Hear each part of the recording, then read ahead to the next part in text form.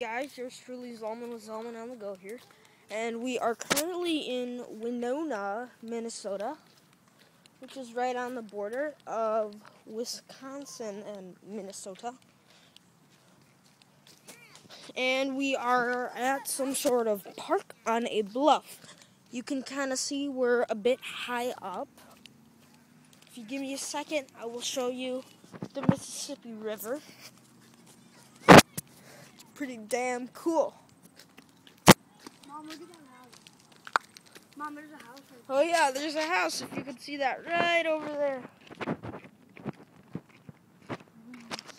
Uh, it's called Garvin Heights.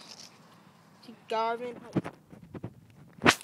So I am coming up, and I will be showing you the Mississippi River. Let's hope I don't drop my phone. If you see this, Look at this, I Ray. haven't dropped my phone. There we go. I don't think you want to fall down there. No, I don't think you don't want to fall. I don't think you want to fall down there. That's right.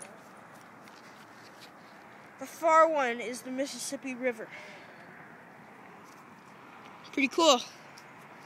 If you see this, I didn't drop my phone. Don't do that, Solomon. Don't even get close. It's not a good thing. So, uh, Solomon, back. was almost all I'm going. I'm out.